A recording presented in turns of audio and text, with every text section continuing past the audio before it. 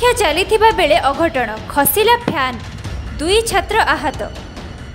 କଟକ ଆଠଗଡ଼ ଗୋପବନ୍ଧୁ ବିଜ୍ଞାନ ମହାବିଦ୍ୟାଳୟରେ ଅଘଟଣ। ଛାତ୍ରଛାତ୍ରୀ ପରୀକ୍ଷା ଦେବା ସମୟରେ ଅଘଟଣ ଘଟିଥିବା ଜଣାପଡ଼ିଛି। ପରୀକ୍ଷା ସମୟରେ ଛାତରୁ ଫ୍ୟାନ୍ ଖସି ପଡ଼ି ଦୁଇ ଛାତ୍ର ଆହତ ହୋଇଛନ୍ତି। ଜଣେ ଛାତ୍ରର ମୁଣ୍ଡରେ ଆଘାତ ଲାଗିଥିବା ବେଳେ ଅନ୍ୟ ଛାତ୍ରଙ୍କ ବେକରେ ଆଘାତ ଲାଗିଛି। ଆହତ ଦୁଇ ଛାତ୍ରଙ୍କୁ ଆଠଗଡ଼ ଡାକ୍ତରଖାନାରେ ଚିକିତ୍ସା ପାଇଁ ଭର୍ତ୍ତି କରାଯାଇଛି। ଦୁଇ ଆହତ ଛାତ୍ର ଯୁକ୍ତ ଦୁଇ ପ୍ରଥମ କଳା ବିଭାଗର ଛାତ୍ର ଅଟନ୍ତି।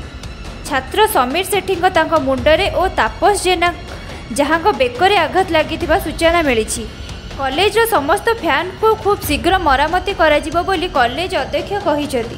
କିଭଳି ଏମିତି ଏକ ଅଘଟଣ ଘଟିଛି ତାହା ଏବେ ସାଧାରଣରେ ପ୍ରଶ୍ନବାଚୀ ସୃଷ୍ଟି କରିଛି। ଆଠଗଡ଼ରୁ ରାଜୁ ସ୍ୱାଇଁଙ୍କ ରିପୋର୍ଟ ମେଟ୍ରୋ ଟିଭି ଓଡ଼ିଶା।